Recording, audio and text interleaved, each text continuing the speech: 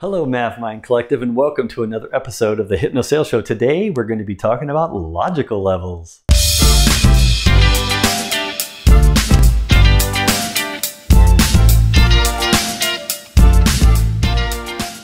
So many of you that know me, have worked with me, or uh, know about my my trainings and stuff, you probably have already trained you on this in the past, and you you know a lot of you have been asking for me to create the video for the logical levels model, so you could capture it here on this channel that you're watching it on or listening to in this podcast that you're listening to now. Um, so this is, uh, I kind of adopted this or adapted this from uh, the world of therapy. In the world of uh, therapists that are working with patients that have uh, different kinds of issues they're working on, typically logical levels model is a tool that they will use to try to really figure out what the root cause of what the real problem is in the patient in order to figure out what's the right therapy to use to help them correct the issue that they're having. So I adopted this and adapted this to my own in my own world of the business world, sales, pre-sales, post-sales world, in my customer-facing role, which hopefully you have a customer-facing role. That's why you're watching this series or these hypno sales uh, series, is to understand things like these tools that you can use. Um, you probably have had those situations with customers where you're trying to figure out like where is the issue or what are they really trying to say? Um, for example if you're in a pre-sales mode you're trying to determine and discover usually with a discovery meeting up front you know what is the use case? What do they have budget? What are they trying to do? Why are they trying to do it? Etc you're trying to discover that to qualify it to qualify if it's even worth your time to spend with them you and other resources you bring into the into the process if it's worth it, if they're going to have, it, let's say they have money to buy it, but they can't articulate exactly the use case or the business case, then you may disqualify it, you know, because it's not congruent and it's not worth your time. Versus if they tell you exactly what they want and everything's congruent, everything matches up, then you move forward and typically you will those are the opportunities that you'll win and the client's happy and you're happy. And then post sale, another example would be, you know, then now you have to implement the particular product or service that they purchased from you. And so that team, if you're in a customer facing role like, you know, support or professional services or customer success, you got to figure out like, you know, what do you want to do first, second and third? Like what order? We got to manage this project project of implementing in phases. So what are you going to be happy with first, second, or third, etc. And so you have to discover and figure that out in order to scope it, in order to plan it. So so in your customer facing role, you're doing this all the time. And I use logical levels as a way, as a standard way for me to be able to figure out if everything is congruent with what they're telling me and does everything line up so I can feel comfortable to help them feel comfortable with the experience that we will deliver for them, either pre or post sale or both. Okay, so the way this works, it's a hierarchy. So if you're listening on the podcast, your the first top level is identity, identity. Then it's followed by the second level, which it's connected. So each level here is connected to the one below it, and then vice versa, the one below is connected to the one above. So they're like interconnected in the sequence. Okay, identity is first, belief is second level, third level is capability, fourth level is behavior, and fifth level is environment. Environment. So they're they're all connected to each other. Um, and I'll draw a little, a little up and down arrows here so you can kind of see one connects to the one above and below it. They're all connected together. Now, identity. What is identity? Well, that's the person or team or company you're talking with. So depending on the context, identity will be either a group of people or it'll be a single person. And this is important because uh, if you're going to figure out this hierarchy of logical levels, you need to know uh, who you're talking with first, if it's a person or if it's a whole group or a whole company. So that identity is the who. So I'm going to put the word who here to remind ourselves that this is answering the question who are we talking with? Who are we talking with? That's the identity. All right. Now the identity then affects and has a belief. So a who has a belief about something. Or you can also interchange the word belief with reasoning or reason. Okay. They have a reason or a belief and that is the why. Okay, so uh, somebody or a person play a person or a group of people or a who, and they have a reason or a belief, which is a why. Okay. Um, then next, um, uh, for every belief that this who has, they have they want a capability to either be they want to be capable of something. They want to have an ability or capability to do something Okay, so this is a how. So this is how they want things to work. They want it to work this way. They want this capability or they don't want this capability.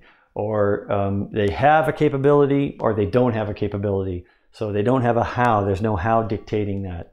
And then below that, once they have a how, or if they don't have a how, that will influence and have a direct correlation with the behavior of the people that work for them, the people on their team.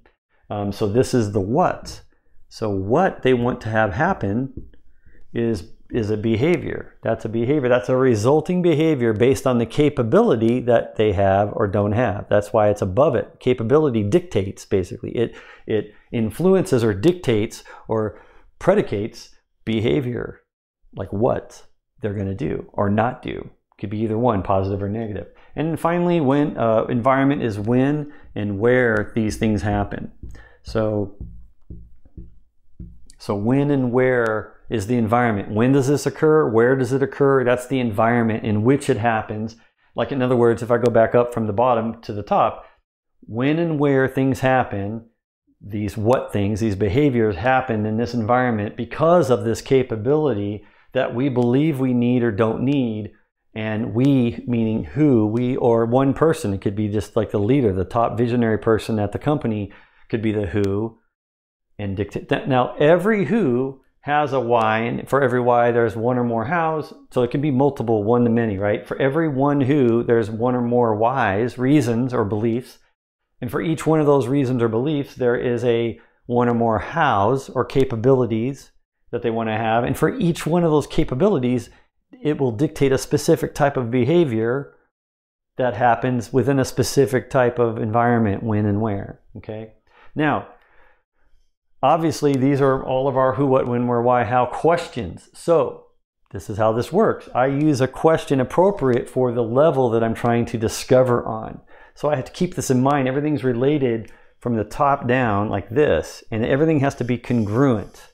It all has to connect and this is where a lot of the times when it, before I knew this model, I would make these mistakes, or I've worked with other salespeople or other um, customer-facing roles, uh, professional services or customer success or SEs, you know, pre-sales engineers, solution engineers. That make these kind of mistakes because they would ask maybe uh, how questions, what questions, maybe ask who, but they might not ask why. And it, it always bugged me why they wouldn't ask why. And I realized that a lot of the time, everyone is assuming why we're doing these things. We're assuming why they're telling us they want certain capabilities and they want it to happen when and where, certain environments and certain behaviors. We're assuming some things. Or we might assume the behavior based on hearing the answers to some of the other questions at the other levels. We fill it in. We can't help ourselves. Subconsciously, we're going to fill in what we assume the other things in order to make sure the story all matches up and that everything is congruent from the who, why, how, what, and when, where it all matches up. Now, uh, when I discovered that we were making these kind of mistakes where we were asking some certain questions and then assuming the others, that's usually why we would lose a deal or we would kind of mess up an implementation post sale. We would get it wrong and it would, we'd scope it wrong or we would set the wrong expectations because we thought we knew what these different uh, answers were, but we were assuming some of these things. So I started using this model and started asking the questions explicitly and making sure that in my mind I could connect it up each piece. So I would divide this up and I would make sure that when I asked these things, they all lined up like this perfectly. And if they didn't, then I would figure out where it went wrong and I would try to catch it early and then go uh, ask those questions and make sure I wasn't, even if it, even if it made me feel kind of dumb, to like, yeah, everybody knows that's the reason. Everyone knows that's the behavior they want like I would just set expectations. You know, look, I know we're probably assuming this, but I'd like to just clarify and make sure that this is the behavior that you want for your teams. Or I want to make sure this is why we're doing this. And so some things would happen that kind of enforced uh, or, or, enlightened in me that this was actually something very valuable. And um, and what it would what would happen is is I would actually ask uh, the capability question like how do you want this to work, and then I would say why do you want it to work this way? And then this is the answer I'd get. Oh, I don't want it to work that way. My boss does. I could care less. I don't. I could. I couldn't care less, right? I don't really care. Um, but my boss does. So then I would realize their reasoning or their belief wasn't theirs. It was their boss's. So then I would realize I have a whole nother sequence that I got to do with their boss, right? I need to go talk to a different who, figure out what that boss wants, what their boss wants, what they believe, which is what this person's telling me that I'm assuming is their belief, but it's really their boss's. And then I want to ask the boss what capabilities the boss wants or the behaviors they want those capabilities to drive for the organization and then when and where they want those to happen. And funny enough, when I would do that, sometimes those answers would be different than the person that I'm talking to right now, like a champion or a contact I have that's giving me information. And I'm assuming all of these things are lined up and it's not for them. They don't really care about the belief. It's not their belief. They want something completely different, but it's their boss telling them. And their boss really has these other other things that they want answers to down here, but they may not be even be telling the person I'm talking to. And then everything's incongruent. And that's why things go sideways. That's why things don't work out sometimes because you're trying to assume it all lines up and that the person you're talking with or the team you're talking with, everything lines up. And it may be a mixture of answers that come from different hierarchies, different logical levels for different who's. So that's why I always try to go and verify is this, are you the person or is it somebody else? Is this your belief is this your why or is it somebody else's? And if so, I need to you need to introduce me to them and I need to figure this out. And then sometimes I might even tell my contacts about this logical level and say, I got to get these answers, these all these answers, and I got to line it up. Like I'll teach them this model so then they can help me go be a good champion and, and find the answers from the different. And it's amazing if you can get a champion doing this and teach them this tool and they go do it, they'll, they'll, they'll give you all of the congruencies or incongruencies and you can make a better call. You can decide if it really is going to close this quarter, next quarter, or if you need to disqualify. Um, but I'm always figuring, I'm trying to figure out the how, what, when, and where with every single group or person, who, all the way down. I'm always putting these together and asking these questions and making sure everything is lined up and congruent. So, simple idea. Again, really enlightening if you've never used this before. Just I would encourage you to ask all the different questions, even if you think you're assuming something, just ask the question anyway and just say, look, I know we might be assuming this. Just say it like this. We might be assuming this, but I want to make sure we're, we're clear on this. Who, why, how, what, when, where. Like get all the questions from that person and make sure that if there's nobody else involved or if you need someone else involved, you can go find that person and do the same thing with that person or that team or what or whoever it is and whatever it is and why it is and how it is and when and where it is. You're going to find all of those things in all of those cases and it will increase your efficiency and increase your probability and chances of having a great customer experience from the beginning all the way to the end, pre-sale all the way to post-sale if you do it consistently. Anyway, thanks for watching today's episode. I know you found value. I hope you will share this right now with somebody else that finds value in it. Subscribe if you haven't already, and I'll see you on the next Hypno Sales Show.